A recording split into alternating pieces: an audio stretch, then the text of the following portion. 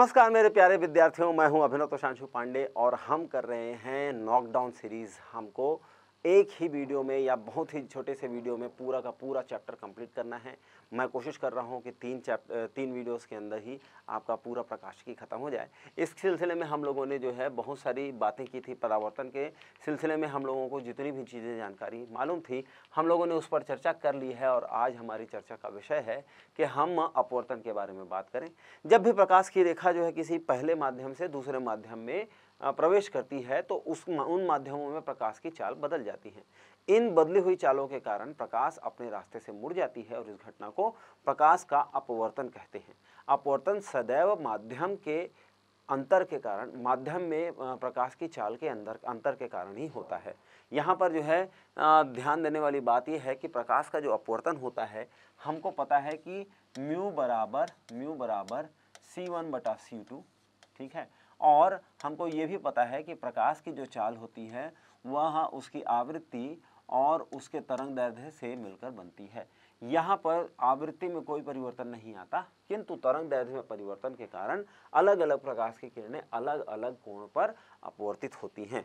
यहाँ पर हम लोग देख रहे हैं कि प्रकाश की एक किरण पहले विरल माध्यम यानी कि वायु से होकर जो है प्रकाश के मतलब इस कांच के गुटके के अंदर जो है प्रवेश कर रही है और ऐसी स्थिति में जो है सरल विरल माध्यम से, सघन माध्यम में आते समय प्रकाश की किरण अपने अभिलंब की ओर झुक जाती है। इसलिए जो है, यहाँ पर आप देख रहे होंगे कि अभिलंब की ओर झुकी हुई प्रकाश की किरण है।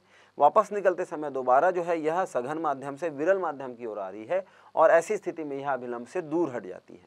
तो इसे जो है, हम इससे इससे हम जो है प्रकाश के अपवर्तन का पता लगा सकते हैं। उसके बाद में जो है, हम अगली चीज़ देखते हैं कि अपवर्तन के क्या क्या नियम हैं।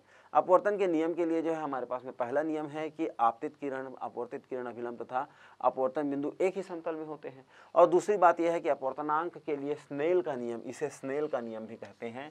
तो स्नेल के नियम के अनुसार जो है, म्यू बराबर म्यू बराबर, म्यू टू बटा म्यू वन और यहाँ पर होता है सी टू बटा सी वन और यही होता है साइन आई बटा साइन आर ये सारी चीज़ें देखने के बाद में हमको जो है एक और तीसरा नियम जो है देख लेना चाहिए और वो है ये कि हमेशा जो है हम अपने किरण मतलब कोणों को कहाँ से नापते हैं? अभिलंब से नापते हैं। चलिए आगे बढ़ेंगे। वास्तविक आभासी गहराई के बारे में जो है एक आध प्रश्न आपसे पूछा जा सकता है। जब प्रकाश की किरण जो है, अब यहाँ पर क्या हो रहा है, देखिए, ये वस्तु जो है पानी पानी के अंदर डूबी हुई है और यहाँ से निकलने वाला प्रकाश जो है, वह माध्यम बदलते ही अपने रास्ते से अभिलंब से दूर की ओर हटता है और उसे देखकर ऐसा लगता है कि वह इस जगह से आता हुआ प्रकाश है। और यहाँ पर जो हमें वास्तविक और आभासी गहराई दिखाई देती है, जिसके लिए सूत्र है अपूर्तनांग बराबर सतह से वास्तविक गहराई बटा सतह से आभासी गहराई। आभासी गहराई जो है हमेशा छोटी होगी और इससे आपको पता चलता है कि अपूर्तनांग जो है, वह हमेशा एक से बड़ा होता है। चलिए, ये समझ में आ गई बात। फिर हम जो है थोड़ी बहुत बात करेंगे मरीचिका की और यहाँ पर हम लोगों ने क्या देखा था कि जैसे रेगिस्तान है और रेगिस्तान में जो है अलग अलग सतहों पर वायु का घनत्व तो अलग अलग होता है, इसलिए इनका प्रकाश की घनत्व तो भी अधिक होता है और ऐसी स्थिति में यहाँ से निकलने वाला प्रकाश जो है सदैव निरंतर जो है अपने रास्ते से मुड़ते हुए किसी इस प्रकार से विचलित हो जाता है कि उसे देख ऐसा लगने लगता है कि प्रकाश की किरण जो है नीचे से आ रही है और यह जल में बनने वाली परछाई की भांति दिखाई देता है जिससे लोगों को एकदम गर्म रेगिस्तान में कहीं पर पानी के स्रोत की आ, क्या कहना चाहिए अभ्रांति हो जाती है इसलिए इसे मरीचिका कहते हैं। ऐसी ही मरीचिका जो है हम लोगों ने ध्रुवीय प्रदेशों पर भी देखा है जहाँ पर जहाज़ हमें उल्टे लटके हुए दिखाई देते हैं। अगला प्रश्न, जो जो बहुत महत्वपूर्ण है, और वो ये है कि पूर्ण आंतरिक परावर्तन क्या होता है। अब पूर्ण आंतरिक परावर्तन से पहले अपवर्तन देखेंगे, और अपवर्तन के नियम कहते हैं कि यदि प्रकाश की किरण सघन माध्यम से विरल माध्यम की ओर जाए तो वह अपने रास्ते से विचलित होकर, क्योंकि विरल माध्यम में जा रही है, इसलिए अभिलंब से दूर हट जाती है। तो यहाँ पर ये प्रकाश की किरण अभिलंब से दूर हटती हुई दिखाई दी। इसके बाद में हम लोगों ने क्या किया? आपतन कोण को थोड़ा और बढ़ाया तो अपवर्तन कोण जो है कुछ और बढ़ गया। ऐसा करते करते हम एक ऐसे कोण पर पहुँचते हैं जहाँ पर विचल, ये आपतन कोण का मान सी के बराबर हो जाता है और ऐसी स्थिति में अपवर्तित कोण जो है वह दोनों सतहों से समांतर या फिर जो है अभिलंब के 90 अंश कोण बनाकर जो है चलने लगती है। इस विशेष कोण को हम क्या कहते हैं? इस विशेष कोण को हम क्रांतिक कोण कहते हैं। क्या कहते हैं? क्रांतिक कोण। तो क्रांतिक कोण को परिभाषित करें। क्रांतिक कोण वह कोण है जब प्रकाश की कोई किरण सघन से विरल माध्यम की ओर जा रही हो तो क्रांतिक कोण के आपतन कोण के लिए अपवर्तित किरण अभिलंब से 90 अंश का कोण बनाए। जब हम किसी अब जब हम प्रकाश की किरण का जो कोण का मान है, उसे हम जो है क्रांतिक कोण से जो है अधिक बना दें तो ऐसी स्थिति में प्रकाश की किरण दूसरे माध्यम में जाने की बजाय पहले ही माध्यम में लौट आएगी और इस स्थिति को प्रकाश का पूर्ण आंतरिक परावर्तन कहते हैं। आपसे प्रश्न क्या पूछेगा कि प्रकाश का पूर्ण आंतरिक परावर्तन किसे कहते हैं? पहला प्रश्न। दूसरा प्रश्न, सिद्ध कीजिए कि म्यू बराबर एक बटा साइन सी। तीसरा है प्रश्न, क्रांतिक कोण को परिभाषित करें। और चौथा है कि अनुप्रयोग लिखें। तो पूर्ण आंतरिक परावर्तन के बहुत सारे अनुप्रयोग हैं, जिसमें से सबसे ज़्यादा महत्वपूर्ण है प्रकाश की तंतु। अब ये प्रकाशिक तंतु में क्या होता है कि इसके अंदर कांच की एक नली होती है, जो जिसका मध्य हिस्सा जो है उसमें अपवर्तनांक अधिक होता है और इसकी तुलना में बाह्य हिस्से में जो है कांच की ऐसी परत चढ़ाई जाती है जिसका अपवर्तनांक तुलनात्मक रूप से कम हो। ऐसी स्थिति में प्रकाश की किरण हर बार जो है वहाँ पूर्ण आंतरिक परावर्तन से गुजरती है और इस प्रकार से सूचनाओं का संप्रेषण किया जा सकता है। इसका उपयोग जो है इंटरनेट के लिए किया जा सकता है। इसके अलावा जो है एंडोस्कोपी जो आप शरीर के अंदर छेद करके और कोई हम जो है कैमरा डाल के देखते हैं, वो इसी की सहायता से देखते हैं और ऑपरेशन करने में बहुत सारी टेक्नोलॉजी में इसका उपयोग होता है। आगे देखेंगे कि प्रिज्म क्या होता है और प्रिज्म एक ऐसी युक्ति है जो एक तिकोनाकार सरफेस है, ठीक है? और इसके जो है तीन फलक वो जो है आयताकार और दो फलक जो है वो तिकोनाकार होते हैं। इसमें से जब भी प्रकाश की किरण को गुजारा जाता है तो प्रकाश की किरण इसके आधार की ओर मुड़ जाती है। प्रिज्म को देखने के बाद में हम लोगों ने क्या देखा?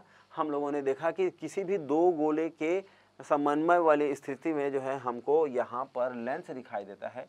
जैसे कि आप यहाँ देख रहे हैं, आप यहाँ पर उत्तल लेंस देख रहे हैं या इसे उभय उत्तल लेंस लेंस भी कहते हैं और इसी प्रकार से यहाँ पर अवतल लेंस देख रहे हैं या इसे उभयावतल लेंस भी कहते हैं।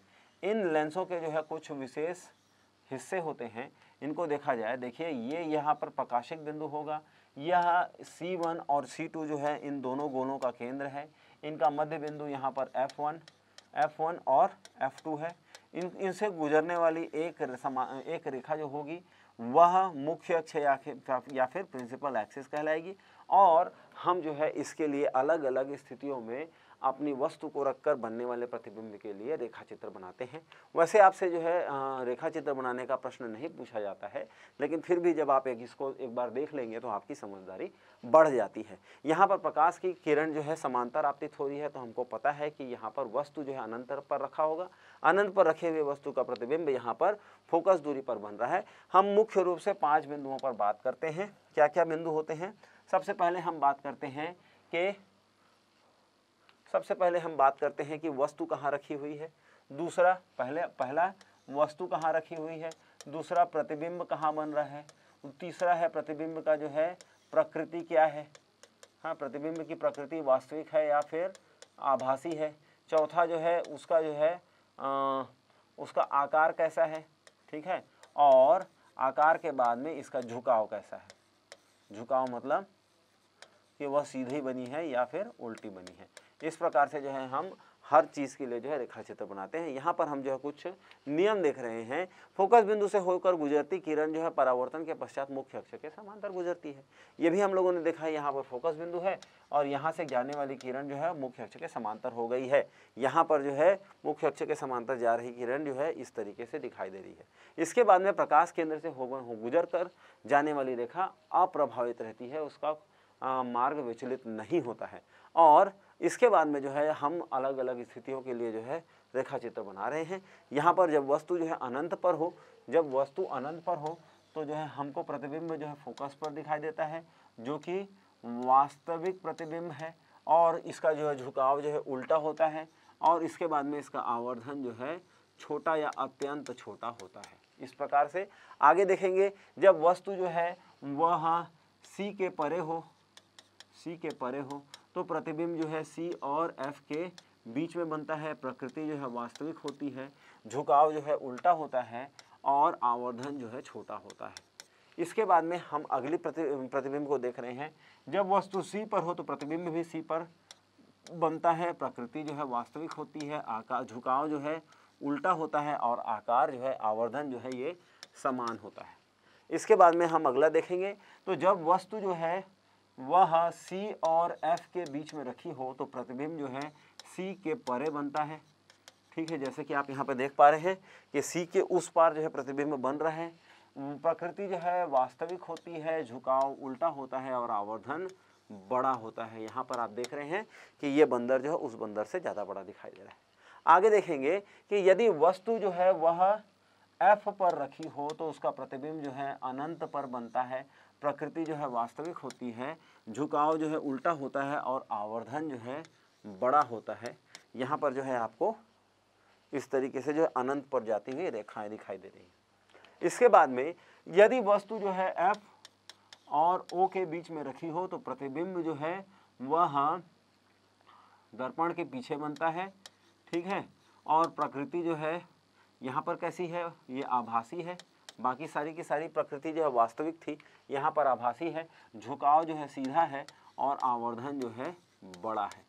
यहाँ पर जो है, ये वाला जो हमारा रेखा चित्र है, ये है महत्वपूर्ण है, इसको समझना हमारे लिए आवश्यक भी इसलिए है, क्योंकि इसके बाद में हम प्रकाशिक यंत्रों के बारे में बात कर रहे होंगे, ठीक है? इसके बाद में जो है, जब वस्तु जो है एफ़ और ओ के बीच में बन रही हो तो जो है हमको ये दिखाई दिया। अब जब वस्तु अनंत पर हो तो हम किसके लिए? हम जो है अब अवतल लेंस है। इसके लिए भी जो है, हम जो है बात करेंगे तो जब वस्तु अनंत पर हो तो यहाँ पर प्रतिबिंब एफ़ पर बन रहा है और बाकी सारी चीज़ें आप बता पाएँगे। इसके बाद में यहाँ पर जो है, एक और स्थिति है, जब वस्तु जो है, लेंस के सामने रखी हो तो जो है, इसका जो है प्रतिबिंब जो है, यहीं पर बनता है और ये बहुत छोटा बनता है और आभासी बनता है।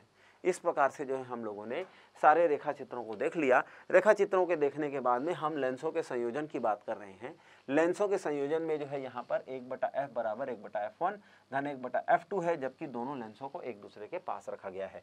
इसी को हम जो है यदि इनके पावर के बारे में जो है बात करें तो पी बराबर पी वन धन पी टू धन इस प्रकार से सभी लेंसों के लिए होगा। और मैं आपको बता दूँ कि पावर पी बराबर एक बटा एफ़ होता है।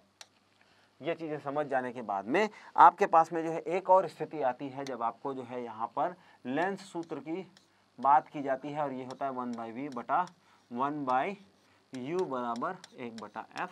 लेंस सूत्र की स्थापना के लिए जो है आपको अलग से यहाँ पर डेरिवेशन पूछा जा सकता है और लेंस सूत्र की स्थापना के साथ साथ जो है यहाँ पर एक और डेरिवेशन है जिस पर हम लोगों ने अलग से चर्चा की हुई है। आगे बढ़ेंगे। संयुक्त तो सूक्ष्मदर्शी जो है प्रकाशिक यंत्रों के बारे में बात हो गई है और संयुक्त तो सूक्ष्मदर्शी में जो है हमारे पास में जो है दो स्थितियाँ हैं। पहली स्थिति यह है कि जब प्रतिबिंब जो है वो स्पष्ट दूरी की न्यूनतम दूरी पर मतलब स्पष्ट दृष्टि की न्यूनतम दूरी पर बन रहा हो मतलब हमको प्रतिबिंब यहीं पर प्राप्त हो रहा है, और ये रेखा चित्र उसके बारे में दिखाता है। इसके साथ साथ जो है, जब संयुक्त सूक्ष्मदर्शी में ही हमें अनंत पर जो है प्रतिबिंब बनता हुआ दिखाई दे तो उसके लिए जो है, हमारा रेखा चित्र थोड़ा सा बदल जाता है। आप यहीं पर जो है अंतर देखेंगे, यहाँ पर देखिए, दोनों किरणें आपस में जाकर वहाँ पर से आती हुई दिखाई दे रही हैं, जबकि यहाँ पर वह अनंत रूप से एक दूसरे से कभी भी नहीं टकराएँगे या एक दूसरे के समांतर निकल जाएँगे। इसके अलावा, अब इसके बाद में जो है हमसे प्रश्न क्या पूछा जाएगा? देखिए 2019 में पूछा गया था कि स्पष्ट दूरी की न्यूनतम दूरी पर प्रतिबिंब के लिए खगोलीय दृश्य का नामांकित चित्र बनाइए। किरण आरेख खींचिए। तो आपको जो है ये चीज़ें यहाँ पर समझ में आ जाएँगी। फिर खगोली दूरदर्शी की बात करते हैं। खगोली दूरदर्शी वो होता है जिससे हम दूसरे ग्रहों को और नक्षत्रों को और तारों को देखते हैं। वहाँ पर भी जो है, देखिए यहाँ पर हम देख रहे हैं कि क्योंकि खगोलीय पिंडों को देखा जा रहा है, इसलिए जो है प्रकाश की किरणें एक दूसरे के समांतर आ रही हैं और उनका प्रतिबिंब दो अलग अलग स्थितियों में हमें प्राप्त होगा। पहला प्रतिबिंब जो है यहाँ दिखाई दे रहा है, जब वह न्यूनतम दृष्टि की दूरी पर हो, और इसके लिए जो है ये रेखा क्षेत्र है।